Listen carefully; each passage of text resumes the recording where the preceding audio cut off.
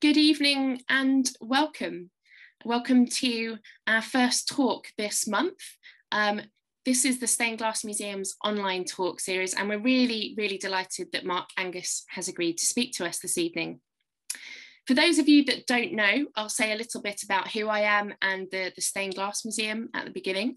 So my name is Jasmine Allen, and I am the director and curator of the Stained Glass Museum which holds a nationally significant collection of stained glass dating from the medieval period to the present day. And by purchasing a ticket to this lecture, you're making a direct contribution to the museum, which is currently closed, um, but we hope will reopen soon. So thank you. For those of you joining us uh, from afar, um, the museum is located inside Ely Cathedral in Cambridgeshire in the UK. One of the advantages to moving our events online is, of course, being able to re reach a wider audience and also to host speakers from further afield with more ease. So now it's my pleasure to welcome and introduce this evening's speaker, Mark Angus. Good evening, Mark. Um, so Mark Angus is a practicing artist based in Bavaria, and he splits his time between Frauenau in Germany and Graz in Austria, where he joins us this evening. Since graduating from Swansea School of Art, where he studied architectural stained glass in 1978, Mark Angus has gained a reputation in Britain and Europe for his expressive stained glass art. His list of commissions is extensive. Um, I encourage you all to take a look at his web website, which is excellent and kept up to date. He's created windows for churches and cathedrals, as well as for other public and private spaces. Here in the UK, where, where I am, you may know his complete scheme of windows for Oundle School and his windows in the cathedrals of Durham and Guildford, just for starters. Mark is a skilled glass painter and acid etcher and has also recently been exploring printing from etched glass using a process known as vitrography. Alongside his own creations, he has taught in the USA, in Britain and Germany. And this evening, we're delighted that Mark is going to speak to us about his work over the last 40 years, covering architectural commissions, mainly for churches, but also his autonomous exhibition panels. So Mark, uh, welcome. Thank you for joining us this evening. And I just invite you to share your screen now so we can see your presentation. Aha. Fantastic. We can see that. So I will shut up and disappear. Okay. Well, thank you, Jasmine. So um, first of all, of course, I have to say hello. Hello to everybody. Um, I'm sure there's a lot of my friends there. Hello, friends. Hello, glass enthusiasts. Hello, fellow glass painters. I'm sure there's some architects or priests there, so hello to you both categories. And I also hope there's a lot of students um, who are attending tonight. You're very welcome and, and hello to you all. And I'm going to tell you some stories about my life in stained glass. My expressive works in, in glass and painting are rooted in the sense of a sacred space and the narrative relation to the world inherent in glass painting. I explore the borderline areas of human existence between abstraction and figurative expression, hence the title of the talk, a dialogue between poetry and abstraction. This concerns human experiences of uncertainty and, and ambiguity, which are, which are revealed between the earthbound and the transcendental elements in my religious stained glass windows, and which translate in the secular work into an approach to the, to the contemporary subject in the conflict between self-searching and world loss.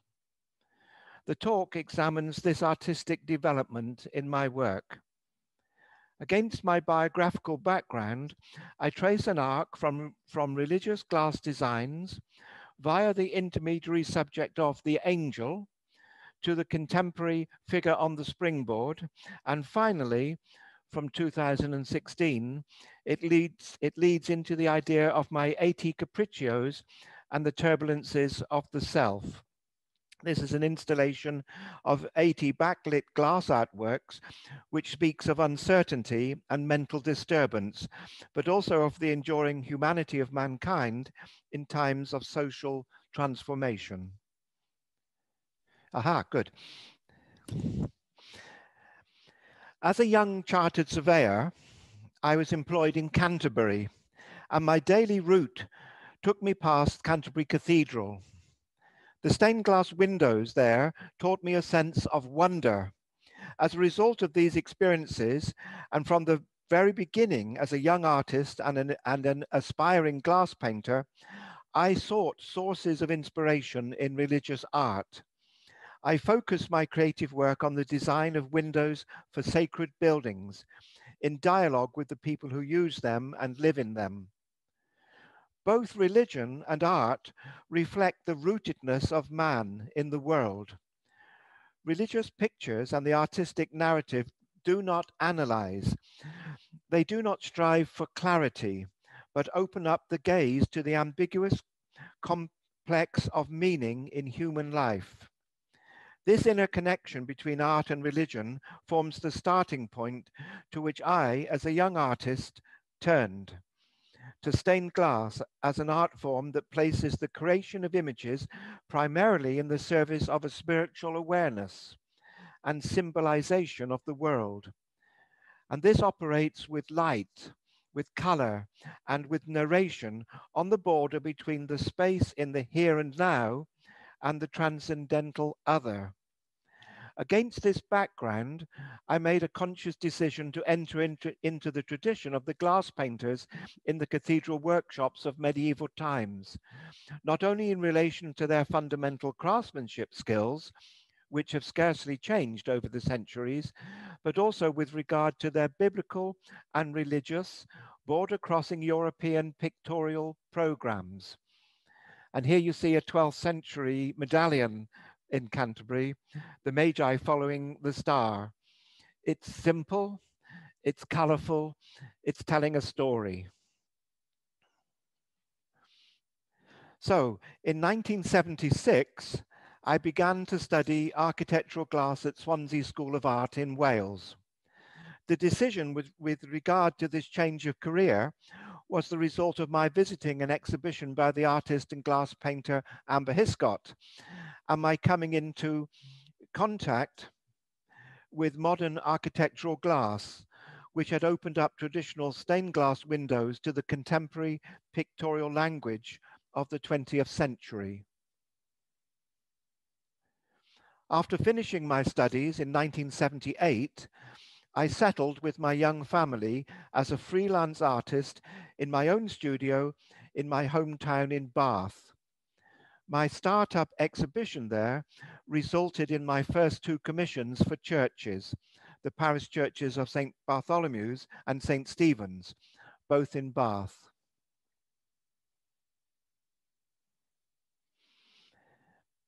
In 1980, I completed the St. Stephen's Centenary Memorial window.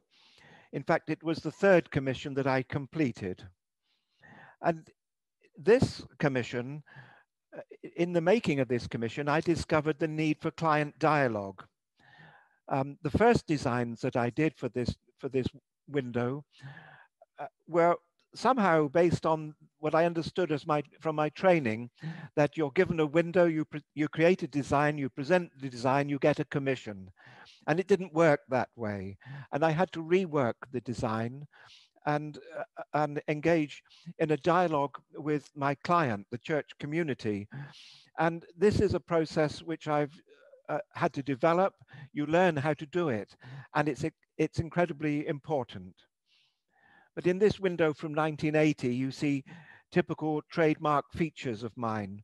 Drawing with the lead, the Hartley Woods lively streaky glass, a single motif filling the window. The expressive figural study of the martyrdom of St. Stephen, depicted in this east window, already signals the balance between narration and abstraction in the pictorial language of my work. Perhaps my most famous single work to this day is the 1984 Daily Bread window for Durham Cathedral. And as you can see, it's an aerial view of the Last Supper. The brief, which was given by uh, uh Dr. Peter Baelz, the then Dean of Durham, was the shortest I've ever had in my career. And I'll read it to you in full. The interpenetration of the divine and the secular economies. A wonderful brief. So here in my father's birth town, and following a, a wide-ranging theological dialogue with my clients, I developed the encounter of the secular and the sacred spheres in glass by means of the subject of the Last Supper, the transformation of physical food into spiritual food. This started a career-long interest in transformation, in transition, and in the journey, all determining factors in my future work.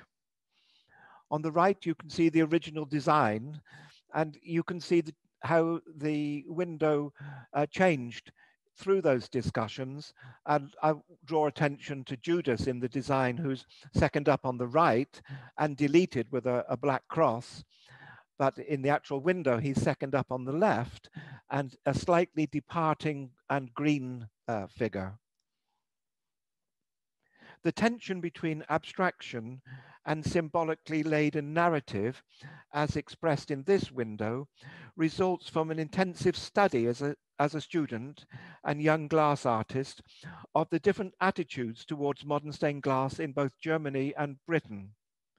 While on the one hand, the design of religious glass in new churches built in Germany after the Second World War, for example, in the badly bombed Ruhr region, aimed at a break with the past which allowed for the emergence into the modern age. Whilst by contrast, the post-war British church art and architecture scene focused more on continuity and further developed the poetical worldview of the arts and crafts movement. I undertook study trips through both countries and made a personal acquaintance with Johannes Schreiter and Ludwig Schaffrath, two German masters of modern stained glass, as well as, for example, the painter John Piper, who was particularly influential with regard to glass painting in Britain after the war. However, it was the painter and graphic artist Georg Meistermann who had the most marked influence on my work. Unfortunately, I was never able to meet him. He, he died before the first of my study tours, but uh, I made a point to visit uh, dozens of, of his windows, and he was a huge, has been a huge influence on, on my life.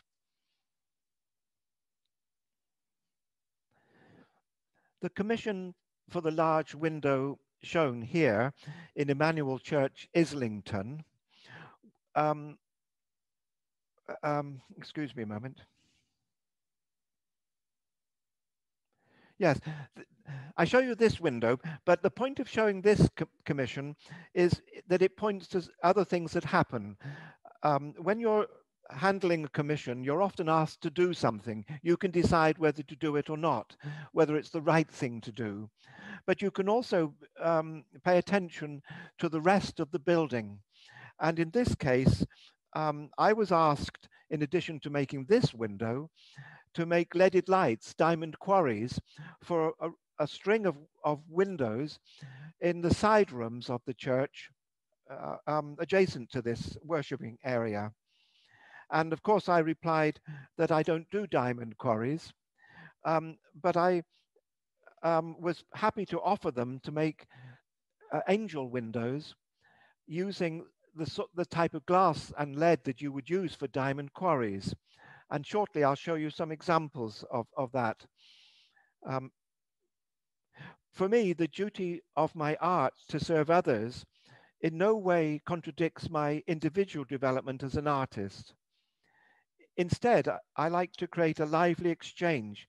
It takes place and in which artistic powers and inspiration are enriched by perspectives from the parish concerned, as well as the collective memories of the site of the commission and the surrounding region.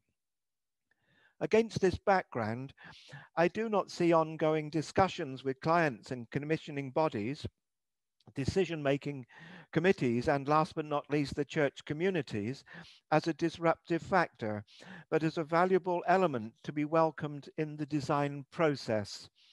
So in this period of around 1989, I was developing these skills, um, which, which can't in a way be taught, but you need to be aware of the need to have them. Uh, and um, I think if you spend 30% of your time on a commission in what you might call client management, talking to the client, having a dialogue, sharing ideas. And if you don't visit the church several times uh, before you, you even get the commission, um, these are all the things you need to do. And this theme I take forward into 91 to St. Bartholomew's Church in Sheffield. Here you see some very small little insertions into the wall. It's a new church, and I was working with the architect. And the main commission is above our heads. It's a big uh, glass um, uh, form above the, uh, immediately above the worshipping area. But the it's not uh, so that you expand the commission, but but you need to be to give good advice to your client. And this window, uh, where you see a white angel, um, this window uh, is facing the congregation in the morning services. It's behind the altar, facing east. So the congregation would have had tremendous problems with glare of the sun, but it was even worse than that because the window is elevated and looking down through the window, you could see the car park of the church. Um, so again, it's a case of offering to the church to do something to solve architectural issues, as well as as well as providing the spiritual and the aesthetic um, things which which churches require. So a white angel, uh, a very large window, nearly three meters high on the left-hand side, large pieces of uh, white opal glass. And um, earlier on, I, I mentioned Georg Meistermann. He made a lot of windows just in white.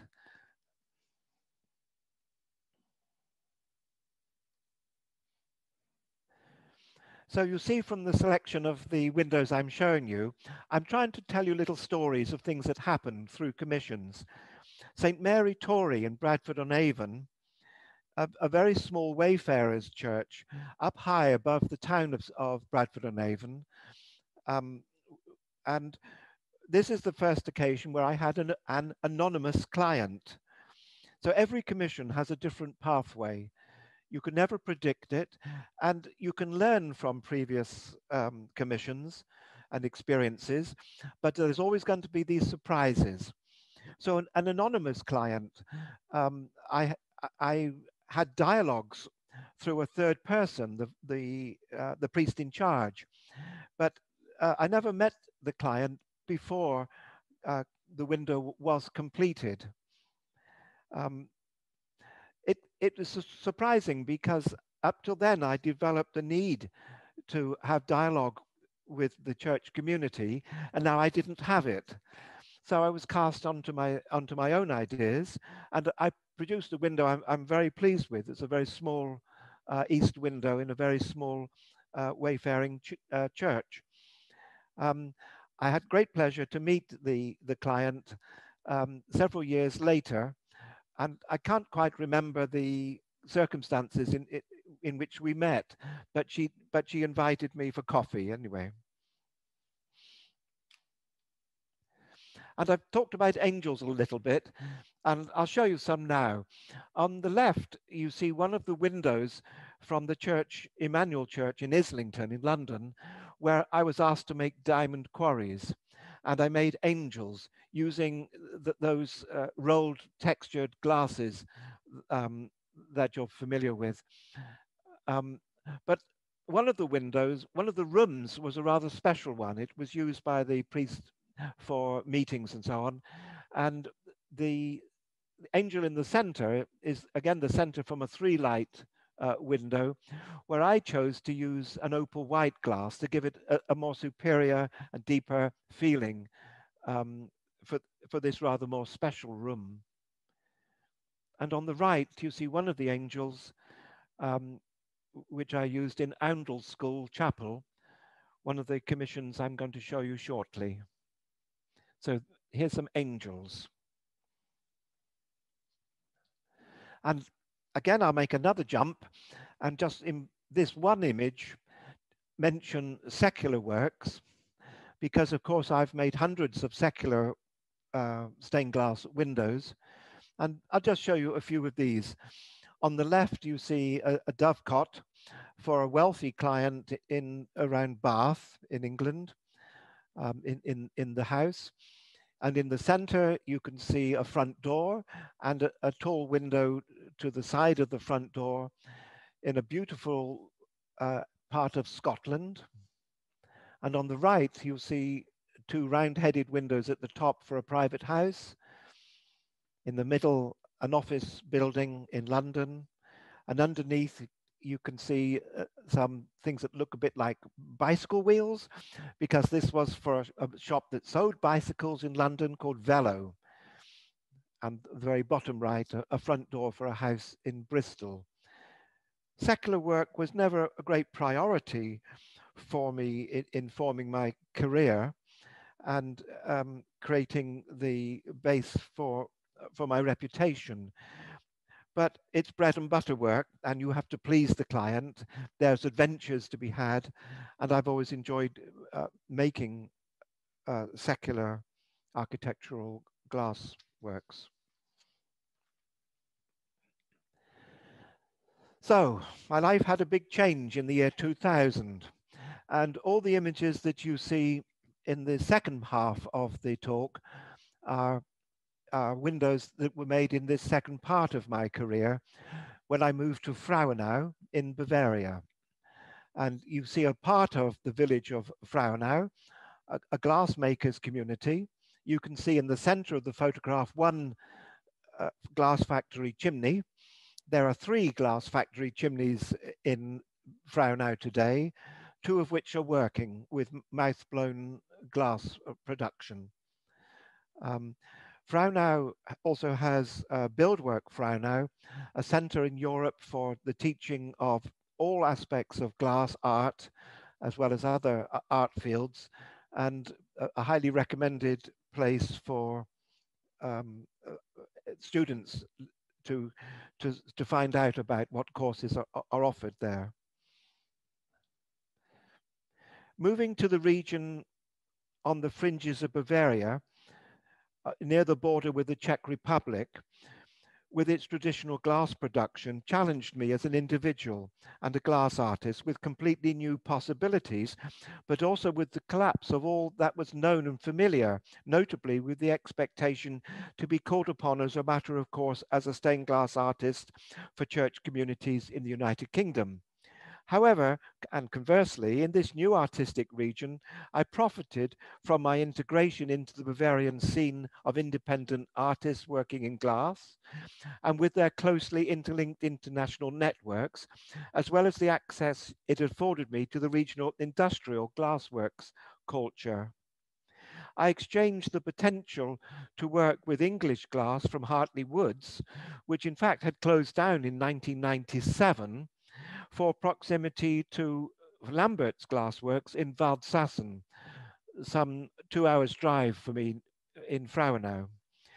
Lambert's is one of the world's remaining glassworks for mouth-blown colored glass. The even colors of Lambert's glass, and in particular the multi-layered overlay or flashed glass sheets, suggested a more painterly pictorial approach. I developed this in an expressive and masterly degree by using enamel paints and silver stain, and the now now and the nowadays rarely used acid etching technique, the removal of, of colored layers of the glass surface, surface with hydrofluoric acid.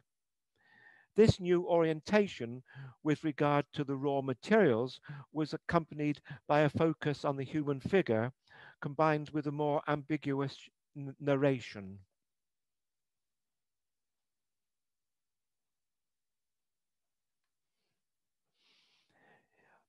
but one commission that I took with me when I moved to Bavaria was the uh, commission for Oundle School Chapel, which I executed over the years 2000 to 2004.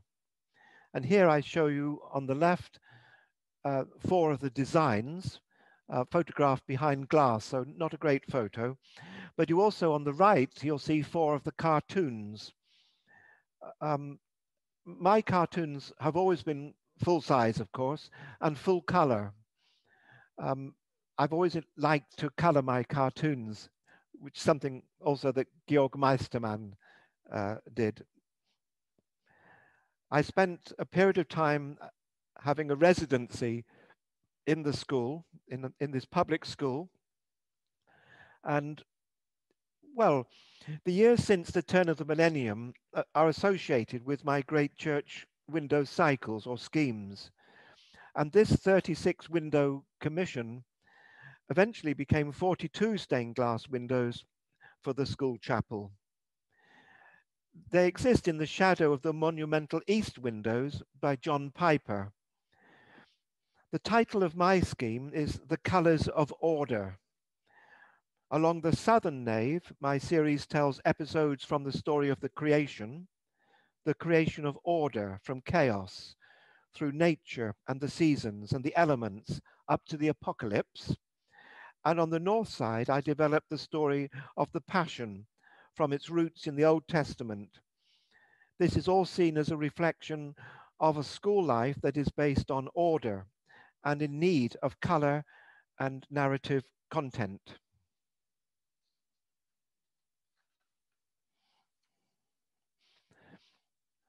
From all of those windows, I'll just show you um, a, a few from left to right. The north windows, the Old Testament, Moses and the law, then Exodus, the flight from Egypt, and the two south windows here from the creation, the sun and the moon, and the order of the of plants. Let there be.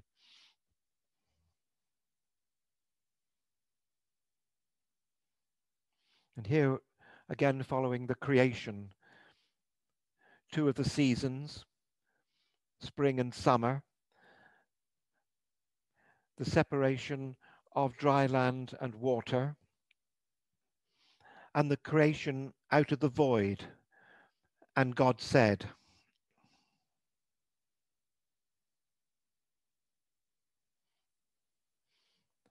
Oundle School has four houses each named after a saint.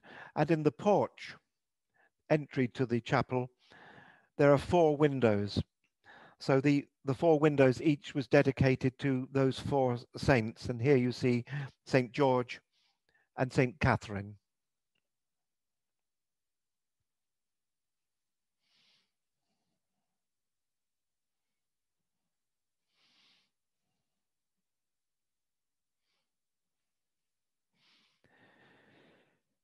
Stylistically, in its semi-abstract and simultaneously scenic narrative language, what I've just shown you, the, the, earlier colors of order, relates to the spiritual journey, um, which is the title of the work at the Church of the Immaculate Conception in Spinkhill near Sheffield.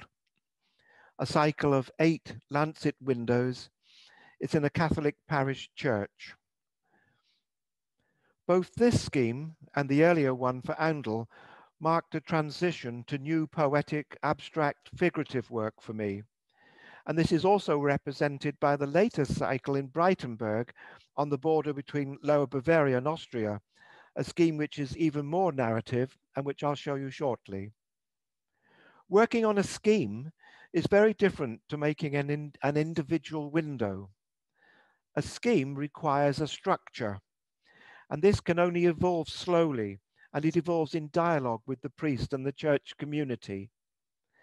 A scheme can be holistic, as when, for example, Schreiter fills an, an entire building with one color, one mood, one motif, and creates a, a deeply spiritual space. Or it can have a more detailed theological base and be progressive as one approaches to the East End. And it is on this latter principle that, that both the schemes for Oundle and Spinkhill are based.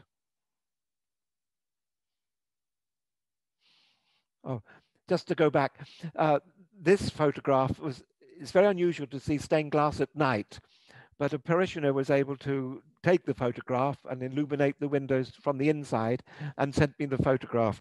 And I think it's one of my favorite uh, of all time photographs of my work. So I'll show you just four of those eight windows now. Here's the first two. And another two.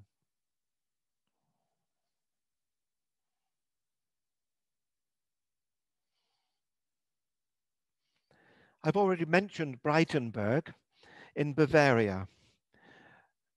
And here I show you two photographs, a before photograph and an after photograph. The before photograph allows you to see the size of this um, Baroque altar. It's enormous and it's covered in gold. And uh, my notes here tell me I'm going to tell you about the yellow and the blue fight. Um, the uh, I was invited to produce, oh, please excuse me, to produce designs. But I made a decision right at the beginning that the altar has tremendous significance and that I would use a blue as a single color, one color blue. But when I came to present the designs on the first occasion, I was blocked by a listed building officer who insisted that the windows should be made using yellow glass. And his point was that the, the altar is yellow, it's golden, and the windows must be as well. And I countered by saying that, that if the windows were yellow, the, the altar would just bleed into them and lose, lose its integrity.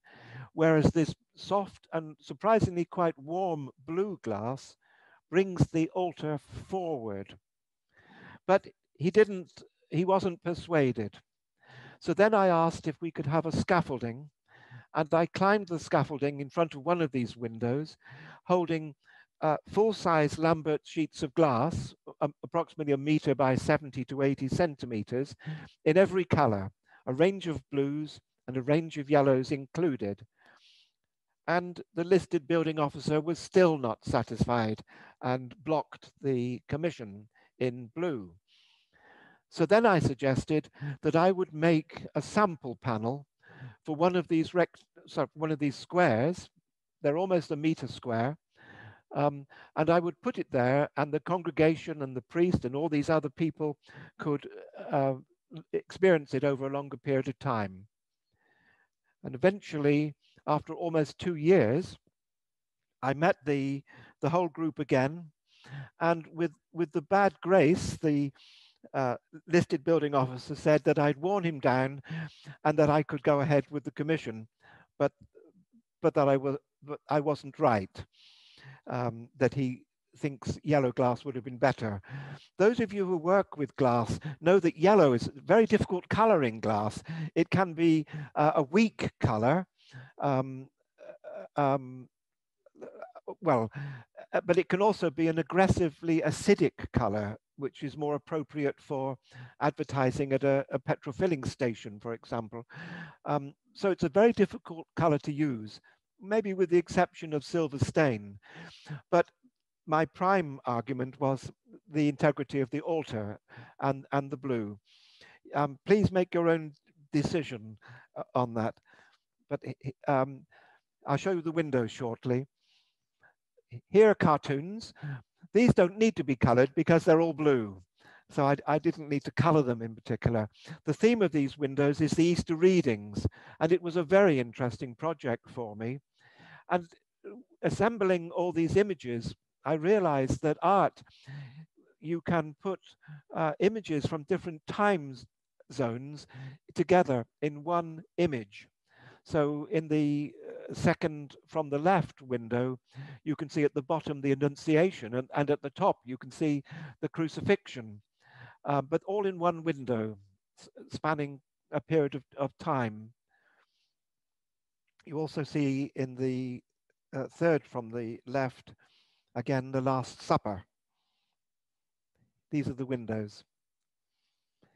This is an opaque um, blue glass. It's, it's, a, it's a double flash. It's blue, a, a very fine layer of blue, which has been acid etched, onto a dense opal white. And the reason for that is to, to stop the glare of the sun. The window is at the east end, and in the morning services, the congregation uh, only had the glare of the sun in their eyes.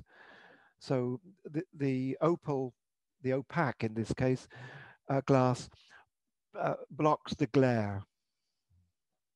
Just a very small amount of transparent in, enamel color added.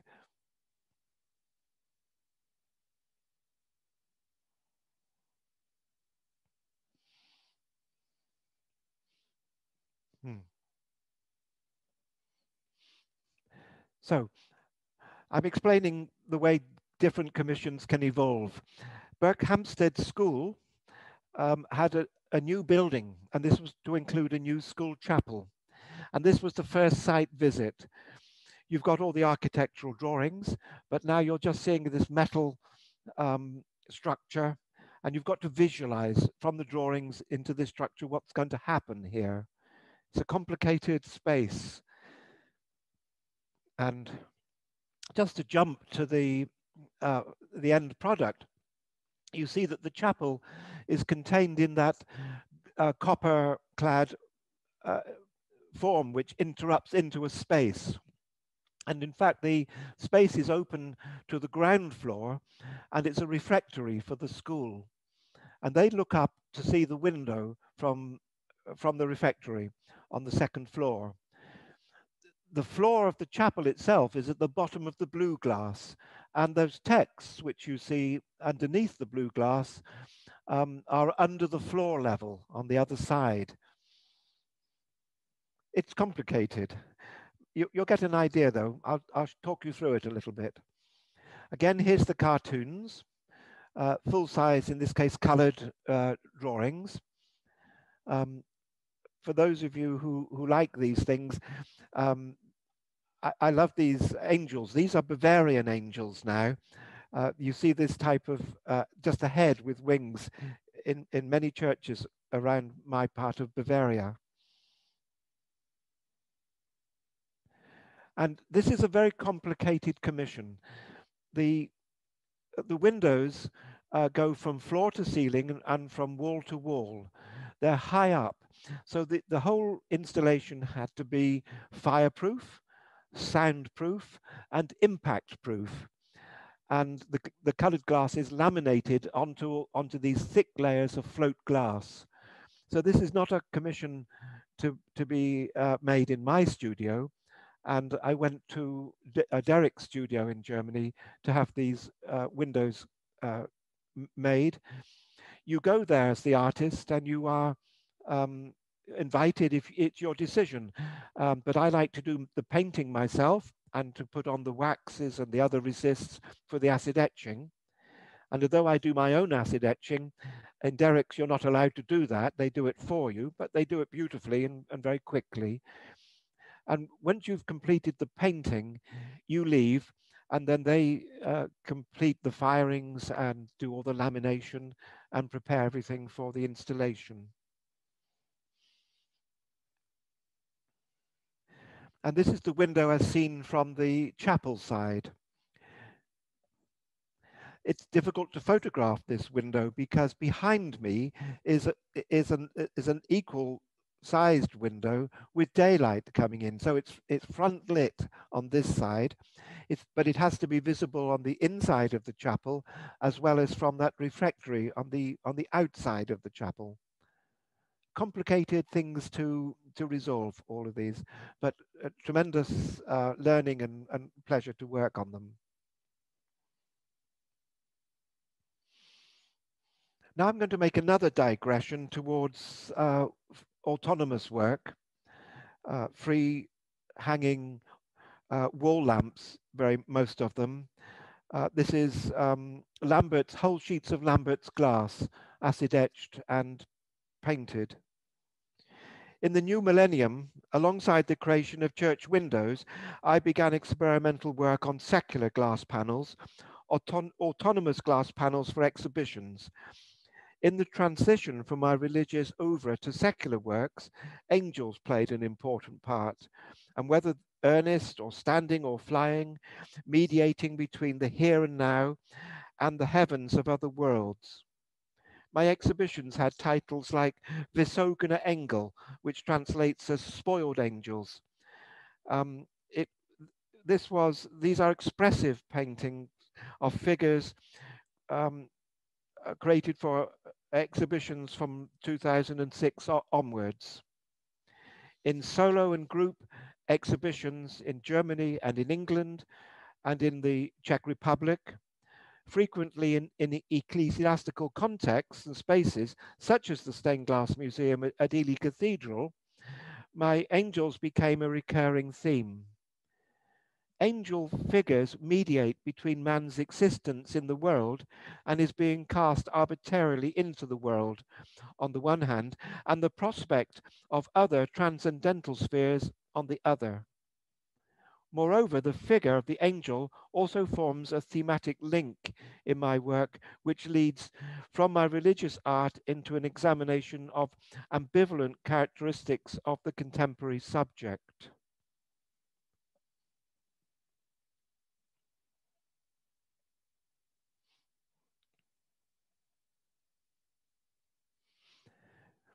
With paintings and glass wall paint pieces, and later you'll see some water jet cut panels. Um, th these artworks made solo exhibitions. One was called Andere Himmel, Other Heavens, in the State Gallery of Deggendorf in 2008. And the motive of the angel led into the study of the figure of the Puer Aeternus, as the psychoanalyst Louise Franz described him with reference to the figure of The Little Prince and its author Antoine de Saint-Exupéry, and how this figure can easily be transferred to a typical young, probably male personality. It revolves around the center figure of the eternal youth with his self-centered focus unable and unwilling to make decisions, floating without setting a foot on the ground. A fascinating, engaging creature that exists in delusions of grandeur and at the same time in profound insecurity. Just think of Peter Pan.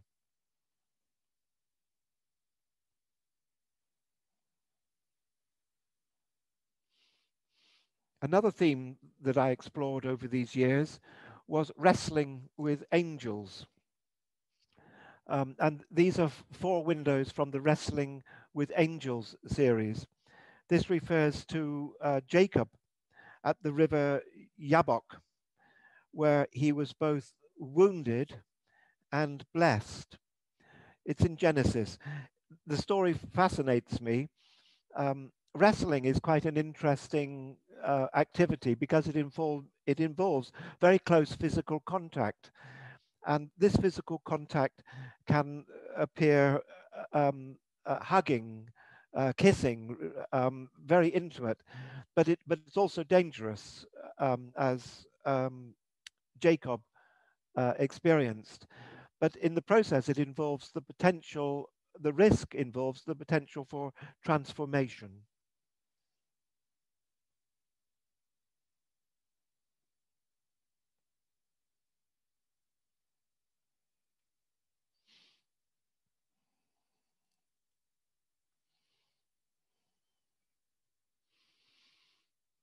These are Puer Aeternus figures, the everlasting youth.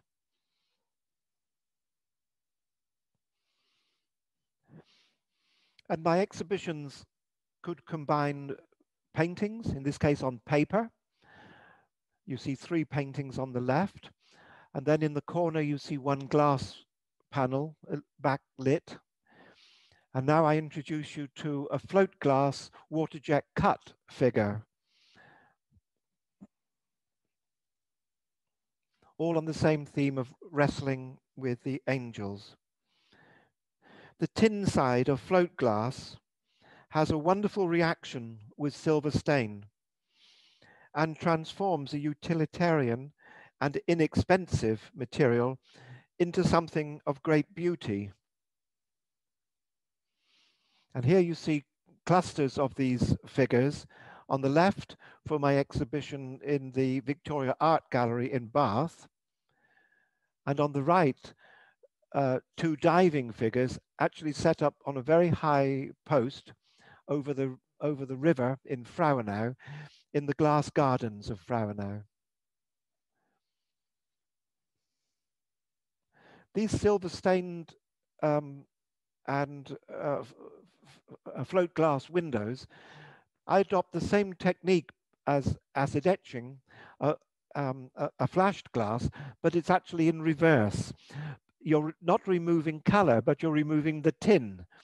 So if you remove the tin and then completely cover the sheet of glass with silver stain, you get varying tones of, of this beautiful amber color.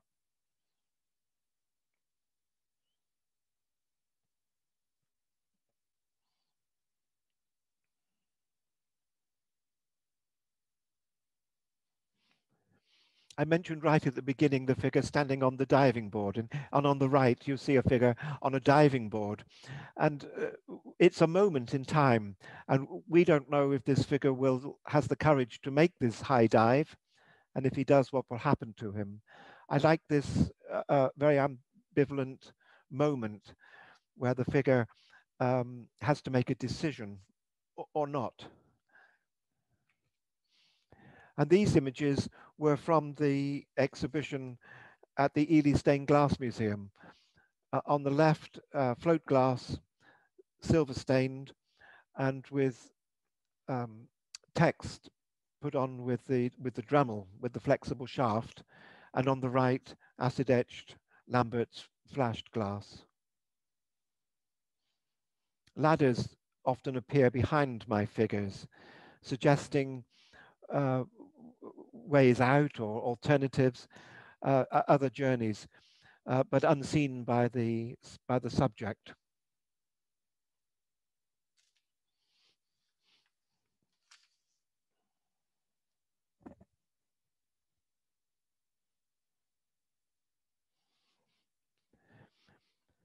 I mentioned earlier on that I had access to blown glass factories, and I've um, fairly often found beautiful vases, which I've painted. Now they have a, a, glass painting tradition in Bavaria, but it's a completely different painting technique to that used by stained glass artists. But of course, I don't know their technique and I apply normal um, glass painter's technique to, to vases. And here's two such vases. And in, the, and in the next slide, you'll see how they look in an exhibition. So here you see a run of, of, of these vases. They're about 30, 35 uh, centimeters square with, a, with an opal, uh, a, white opal on the inside. I found these very inexpensively uh, in a glass factory and I painted nearly 100 of them and the vast majority of them were sold. And I realized that this, um, that people like my glass painting perhaps, but they also like uh, to buy an object which is not only a piece of art, but it's useful. They're vases. This is one room from seven in an exhibition in Deggendorf. And these exhibitions, you have to create a lot of work. And one of, one of my methods was to create one overarching theme for each room. This is two views of one room where the same image, exactly the same image, was created in every available technique that I had in glass painting, as well as uh, painting paintings on the wall. And this is another view of, of that exhibition. On the wall behind, you'll see uh, paintings and drawings on paper. And on these three plinths at the front, you see blown glass forms painted in what's known as the Graal technique. you, you paint a form and then it's uh, picked up by the glass blower and reheated and on onward blown and in this case opened as a to create these big plates these are all glass painting skills which i could develop because i was living in a glass producing area and before we move on to the next chapter, I, I show you this.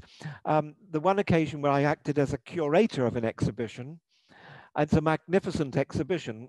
It, its title was 50 Vases, 50 Artists. And you can see that uh, all around this table, there's one rather ugly vase, a, a very large flower pot in shape. And the offer was that we would send uh, one of these vases to artists if, if they would then make it into their own uh, artwork and send it back. And of course, those artists were primarily glass artists of every type, um, but but not only uh, they could be wood sculptors, ceramicists, painters, every type of artist.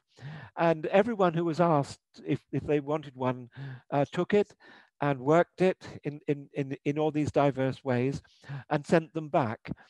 It was a collaboration between Bildwerk Frauenau, the summer academy I mentioned earlier, and the Eisch factory, who made the vases and also made all the uh, glassware that you see set in front here. The exhibition was intended for one glass museum, but very rapidly got snaffled up by all the glass museums across Germany. And in addition, artists, new artists were flooding in, and I don't know the final number from memory, but it was over 80 that the, the as the exhibition grew. So I've had a, I've had my moments of great fun uh, working with glass in most extraordinary ways. So I'll finish with a few things now. Um, Perth United Reformed Church. This was another learning curve for me. Um, the first designs I did were figurative. I was I'm in the figurative part of my life then, and um, but of course, the United Reformed Church um, were not enthusiastic for figurative solutions, so I had to do a second series. But the main reason I've included it in the lecture again is is for those students there to realize that uh, when you get a commission from from a church you need to invite them to your studio to see the design to see the cartoon and for sure to see the windows in the studio before they're installed in the church. Um, and a, a, delegation will come to you and, and you enjoy to meet them in, on your base, on your ground. You've met them previously in, on, in their church, uh, but now you invite them to see what's happening. This gives them a sense of ownership uh, and they can also uh, um, they can also explain the window to their colleagues, how it was made, why it was constructed this way, and so on. So this is, um, Perth is one of the church groups that have visited the studio. This is my studio in Graz. And I'll, I'll show you quickly the windows for Ireland. Raheen Church, a Catholic church. And again, I've chosen it as much because of, of the extraordinary nature of the commission, because this was a church that had fallen into disrepair. And a nearby, very wealthy man said to the church, You give me the church, I will restore it and renovate it, and I'll do whatever I want to do in it, and then I'll give it back to you. And of course, the, the church agreed to it, but it gave me, as the stained glass artist, the most extraordinary experience.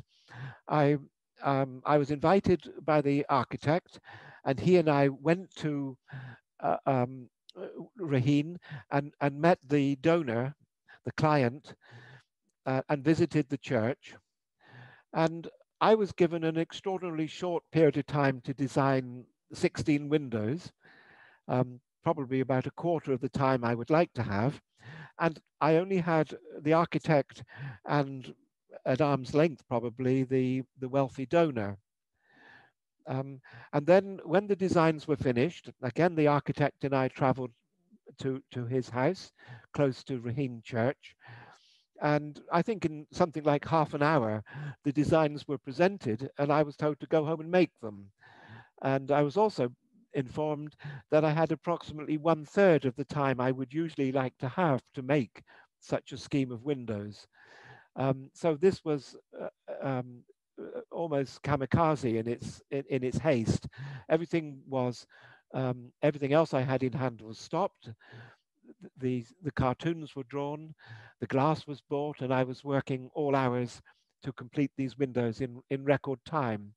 And we just managed to install them before Christmas um, uh, uh, of it would have been 2014 um, in uh, in the most appalling uh, weather, freezing cold and blowing wind every day. It was um, quite an experience. But uh, the installation was was even more difficult. I do my own installations usually, but I, I take a team with me. So we were a German, an Englishman, and a Czech working here on scaffolds, on ladders, on the inside, on the outside, but we were working uh, um, uh, all hours of the night and day, as much in the night because it was dark by four o'clock. It was the shortest time of the year. And the problem we had is the church had been largely renovated, and every time we made dust and, and all those other things, we, had major problems to, to keep all the dust away. So it was a fight on every front. But yes, I'll quickly show you these windows. There's uh, um, the focus of them is, of course, in the lower section. The sills are very high, but the, the windows are beautiful. Um, I'm speeding up a bit because I think I'm overrunning the time slightly.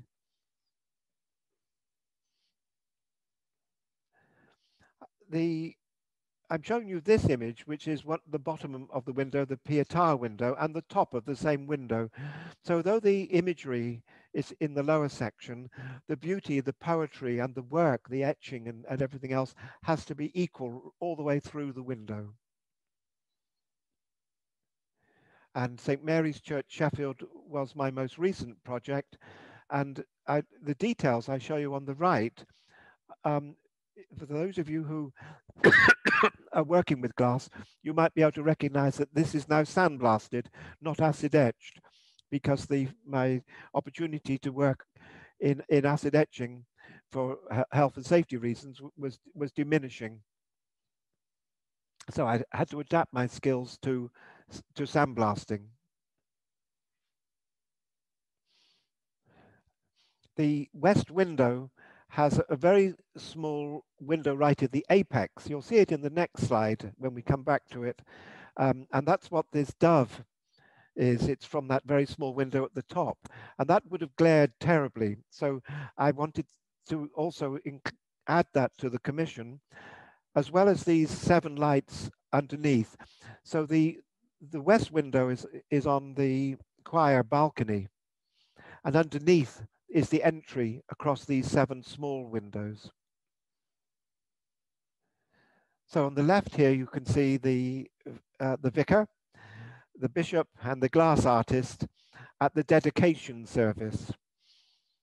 And I've included this cake on the right, again for students, um, because they won't teach you this at art school. You need to learn how to cut cakes because at these dedication services, they're a community event and somebody's going to cook a cake and ice it like this. And they're going to come to the artist and they say, can you please cut the cake? And you have to learn how to cut cakes. And you can see the west window there. And um, I made sure in the cutting of this cake that I gave a, a, a, bit of that window to the vicar and the architect and the, the people from the steering committee. So now at the end, I'm going to quickly show you the 80 caprices and the turbulences of the self. Um, just fiddle with my notes a moment here. This um, was a contemporary act of homage to the cycle of 80 etchings, Los Caprichos by Francisco Goya. And I was prompted to, to make these by Salvador Dali. He reworked and overpainted the Goya series, and I considered this to be a most insensitive action. So I wanted to make my own Mark Angus Capriccio series. And I played with watercolors and a little bit with wood engraving. But um, I eventually decided to explore the boundaries of my own métier in glass, in glass painting, just as Goya had done with copper engraving. These are colorful glass paintings and they experiment with everything and anything that brings color and form into and onto flat glass. They exploit traditional enamel painting. They're light and transparent, or they can be with black leaded contours and sgraffito, complemented by brilliant silver stain. My spontaneous paintings integrate the techniques of sandblasting, and some figures are created using wheel engraving. It uses stencils, applique, and multi-layered lamination. The glass painting tradition contributes mouth-blown antique and picturesquely etched flashed glass, but otherwise any sort of glass background seems to have been permitted. Glass which collects in the stocks of glazers' workshops, window float glass, and even variously patterned bathroom and technically structured glass, sometimes cut and glued, sprayed, and painted many times. I made this series of 80 windows probably for myself. Um, I, I, was now of retirement age uh, in, in 19, and I wanted to, um, uh, to, to really show off what I could do with, with glass um, in every way. The titles were important to me, and I'll tell you some of the titles. A Room of My Own Alone, and some suggested advertising motifs. Accelerate Next, Accelerating Transformation, Advance to Blue. These picture titles echoing the calls from Hewlett Packard and, and Marlboro. In this way, I took up the old artistic and religious subjects of ambivalence and ambiguity, transition and transformation, and precariousness in keeping with the times. In fact, some are expressed in reference to modern forms of religious practice in quirky titles such as Disappointment is also an Epiphany. I attempt to get to the heart of current discourse with intuitive attention and in a breathtaking manner, especially re regarding the figure of the enterprising self and the neoliberal transformations of contemporary culture. And I'll read you the titles of some of these from left to right. Now he was dreaming in blue. Growing up is not easy. The strong pull of gravity increasing with every vertigo inch. Most of the time, truth is just opinion. Overinflated economy. I, I don't have the title for the middle one. Um, mine, everything I own. And on the right, protected, secure, hidden, inviolate.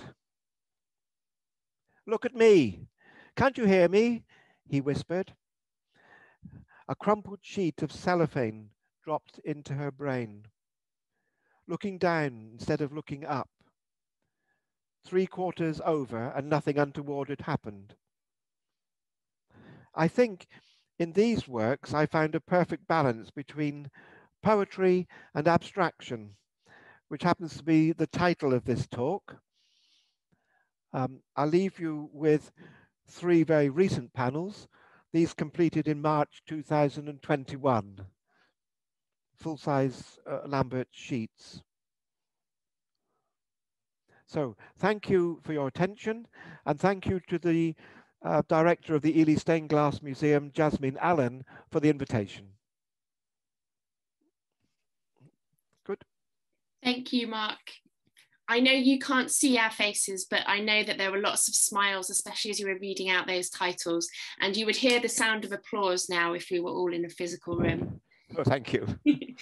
no, that was a wonderful journey uh, from the powerful symbolism of, of the glass in your churches that you've made right up to the kind of very expressive, energetic, autonomous panels we've, we've seen so much. So thank you. If you have questions for Mark and you haven't already done so, please pop them in the Q&A. Are you happy to take some questions, Mark? Oh, yes. Fantastic. Um, I will kick off while people are thinking. I know we've got a couple that, that people have asked. I noticed that in, in your church, the work, work you've produced for churches, um, you've produced glass, as you pointed out, for very Baroque interiors. And some of the early glass you showed us was uh, for very different modern church interiors, concrete and uh, different size windows and shapes and things. And I wondered if you had a favorite kind of architectural style or, or church interior that you like to work with, or whether you just went into whatever was there and worked with that space. Uh, Jasmine, it's a, an interesting uh, question, and I'm going to bat it into a completely different space. Um, what I'm looking for with a commission uh, could be um, a converted industrial building that's being used in an inner city church, uh, or it, it could be a, a gem of 12th century architecture or contemporary architecture. But what I'm looking for is, is is the congregations, the, the people who use the churches. Uh, and I want uh, contact with them to feel what, what, what I can bring to them. Uh, perhaps not what they want, but what they need, uh, what could be of service to them in, um, to, to make their, the house that they're in uh, suitable for the function and the purposes that they have. So it's never really been um, an issue for me about the the church, the building, the architecture. Um, it's more about the community. Yes, it is, and equally, it, it, doesn't really matter. I mean, an east window it, it is is a focal point, but um, a small side chapel window a little window where you can create a space where uh, somebody could could be alone and, and experience something, a transformation um, in, in their private sphere. An, an, almost invisible window could be just as thrilling uh, to, to me as a glass artist as the the big um, prestigious uh, grand east windows and so on. Does that answer the question? No, that has, and I think um, you probably it probably was clear to me actually in the way that you were talking about the commissions, because you really did enjoy that process and that journey. It seemed like, which was fantastic. Hmm. Um, Alison asks, you you do have a lot of work in religious buildings, and, and she wondered if you practice a religion yourself. Um, obviously, you've shown some interest in some of the religious themes, uh, Jacob wrestling with the angel. Um, is that something you want to comment on? I think again the the question I, I, I bounce it in a in a different way, um, Alison. Thank you for the question. Um, you know, I've been asked to to make work for synagogues, and um, uh, uh, religions which I obviously can't uh, be a part of. And for me, it's a matter of understanding the space. Um, concerning uh, we in in the West, um, religion and religious art surrounds us. It's part of our cultural. Um, we're born into it, and and these stories um, are are ones which which we learn uh, certainly in my generation we learnt it through school and sunday school and and going to church. We learnt it through being singing in the choir. Um, so we we absorbed it all. Um, so for me it's it's it doesn't have to be about um, doctrine uh, uh, or anything like that. For me it's about spirituality and I think that's a common denominator. Um, and it's, it's where artists and religion can very comfortably uh, meet. Um, my wife is behind me uh, pointing out that I should also emphasize narrative uh, because uh, the, the, the storytelling um, aspect of it and the retelling and the retelling of stories and finding new interpretations of the same story um, that's that's how our culture evolves and and how we interrelate as, as humans in in our world. So the church is the is the place where people are seeking narratives and understanding but they're also uh, hoping to, to um, they're not seeking meaning in that sense because they they still want uh, mystery and awe, and uh, and so these these things co combine in such a beautiful way in stained glass. Thank you, Mark. Um, Italia asks, is there a particular commission that you've undertaken that changed your outlook on future commissions or changed your approach to your work? Uh, well, I've probably given some hints that almost every commission does that because you engage uh, with it. Um, um, let me think. Probably earlier in my career, uh, when I talked about St. Stephen's and, and, and dealing with clients and, and with Durham sitting at the foot of a leading theologian, probably these experiences set the die for me, um, and they were the uh, transformative and inspirational base of which I could then continue. Um, I'm seeking adventure, um, and the adventure I seek, it, it, it's not about, um, it, it's about meeting people and meeting new challenges. Um, so the, in a sense, the more um, difficult the situation, the more interesting it can be. Hmm. Um, Debbie notes that you used lead as a drawing tool in, in some of your earlier work, and then your more recent work on the autonomous panels is is clearly working, as you said, on one sheet of of, yes. of Lambert's glass. Um, is there something more freeing about your your expression and working on the single pane of glass. Do, do you want to say a bit about that? She's asking mm. um, about the conscious decision not to use lead. Well, you know, it all came at this connect point of 2000 when uh, I had been using uh, uh Hartley-Wood streaky glass and I had a good command of that. You had all the light and the dark and all the colors blending. So you were sorting glass and, and finding how to, to cut it and, and what to bring together. And it, you took lead to bring them together.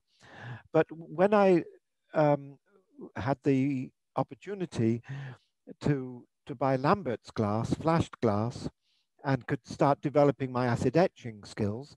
And this combined with the possibility in the Eisch factory where I could set up perfectly safely with an air extraction system um, uh, five full-size sheets of Lambert's glass to be etching at the same time. Um, so they could etch slowly and I could watch what was happening, stop the process, put some more resists on, put some concentrated acid here and there. And so gradually the need for construction, if you like, the necessary evil of, of lead, um, it, it, it slowly disappeared. Um, and uh, uh um, even when, uh, so uh, an autonomous panel, you can do, you can get it all in one, in one sheet of glass. You can get a range of colors the image on my computer screen, I hope it's maybe on yours, you've, you've got uh, white, you've got yellow, orange, and red, all in one piece of glass with the black. Um, so there's no need to break it down. But and then if you think back to the that German series I showed you, the blue windows, um, there needs to be some leads there, but now they they just become uh, they're large sheets of glass now etched, and the leads are, ju are, just holding those large sheets of glass together. They're not themselves drawing the, the figure, whereas the very early piece for St. Stephen's in Bath, uh, the, the, whole of the drawing is done using thick and thin leads and using the lead um, also as a false lead on the surface of the, of the glass. Um, so that was just a process for me. Mm. Um, today, um, lead has, has fallen out of favor uh, because lamination is now a, a primary uh, construction technique where you glue glass onto a, a, a carrier float glass. Um, and these, uh, and lead now, uh, I think in many people's mind, has a very dated quality. It, it looks old fashioned and is not attractive. So I think if I was a young person today, um, I would for sure want to do acid etching, silver, um, uh, um, silver stain, uh, sandblasting, and lamination as, as the main techniques, and move away from lead completely and a lot of those processes really uh, focus around the color and the quality of the glass itself. It's about making that glass sing mm. adding to it taking it away. Um, but there's that inherent color. And joanne was wondering if there's a particular color palette you enjoy working with. She noticed that there's a lot of red yellow and blue as the kind of dominant colors mm. in your work. Yes and very little green or brown or purple. Um, red is red is the image we have in front of us now. It is a powerful color. Um, I've never made a red window. Uh, I can make a panel in red, but I've never made a full panel in red. It, I think it would be frightening um, and, and disturbing. Um, uh, yellow, we've talked about that as a on a big scale in glass, it can be very difficult to use. So a yellow, you, have seen some yellow panel, panels in silver stain and you can see yellow added in. There's always yellow added in because you can stain in uh, very easily or, or you can add transparent colored enamels in very easily if the glass doesn't take the stain. Um, and, and yellow doesn't have any dark, it's a bright color without any uh, depth of tone. So it can be added to anything very easily. Um, blue I look at blues. Um, blue can be very cold, but the Breitenberg blue isn't cold. It, it, it's, it's actually surprisingly warm uh, color. Um, so there's a lot of blues, and you need to find the, the ones that, that, that work. Um, and since greens, you met... Sorry, I was, I was going to say greens and browns. Uh, th these are earthy colors, and I'm much more up in the air, and uh, these more spiritual colors, I think, are not, um, they, they are in the primary uh, color range. Probably. Yeah. You're up in the air with the angels that feature so much in, in the work. Yes. And and the blues um, is, is an interesting one because uh, David mentions here, and this is always a sticking point when you're talking about artistic influences, he noticed that your your later work reminds him of Chagall, who of course um, did some quite wonderful windows using hmm. blues, mm. as have uh, several other kind of modern artists. Um, and I'd I'd throw out there as well some of the the more symbolic uh, ways in which you're you were illustrating creation and uh, the crossing of the Red Sea reminded me of some of the work that Piper and Reyntiens did, say for Eton College Chapel. Uh, hmm. there's a kind of similar approach there are they fair comparisons? Are they comparisons that you'd make yourself influences or not? Yes, they're fair uh, comparisons Jasmine. I'll tell you a nice story about Marc Chagall.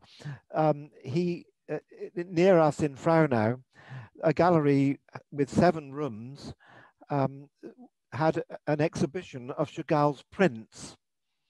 Um, but that filled five rooms, so they had two rooms left, and they scratched their heads and they asked me to to fill those two rooms, um, and they didn't change the exhibition title to the two marks. Um, because I was a side exhibition parallel with him, but um, I was I felt very complimented to have this association, and in fact that exhibition uh, was almost 100% selling for me. Um, people came to the Marc Chagall uh, um, exhibition, which was a, a, a, was artworks which were not for sale, um, and they they bought me out. Uh, and uh, I also got some very nice commissions from it. So the, the Marc Chagall thing, I uh, um, I've always known that that, and I I, I fit. Um, I, I, fit as myself, but I think I fit in between um, the uh, the work of uh, Piper in England um, and the the influence of some of the Germans that I've mentioned, 20th century German artists, I'm, I'm quite comfortable in my in my sort of unique little funny way with my funny figures and so on, and um, and I can accept my these influences uh, um, th that have been on me since I was a student. When the, of course, in those years when I was a student, the the German post-war thing was really being uh, becoming known in Europe and in America. You might think of the Schaffrathization of America was the, a cover of one of the glass magazines from 1976, perhaps. And uh, um, he was doing his world tours with his um, with his compass and set square, doing all those parallel lines uh, in lead uh, for every type of building. Um, so of course they're all influences. Yeah. I, th I think you allow influences, you can't not have them.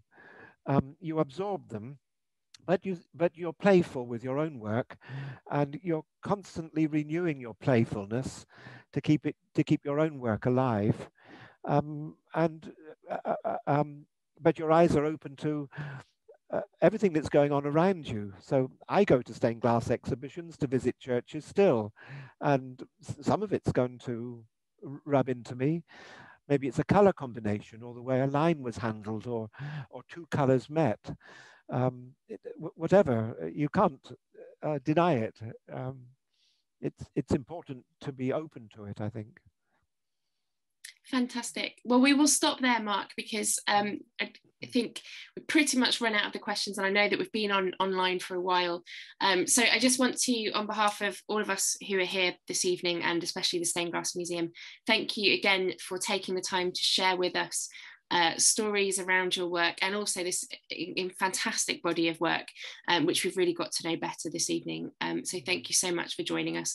And on a big day for you, because I know you had your COVID jab earlier, so we really I appreciate did. that. Yeah, thank you. Um, and thank you all for coming. I'm just going to ask my colleague Emily to uh, share a final screen so you can see um, that we what we have coming up. So next week we have Medieval Treasures of Leicester, Wygston's House Glass by Erica Statham.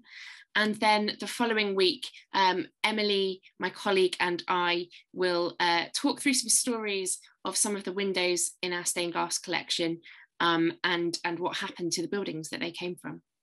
So thank you ever so much for joining us this evening don't forget if you want to find out more about the museum and support it, um, you can join our Friends organisation. Have a good evening, everybody. Thank you for joining us and hope to see some of you next week. Goodbye.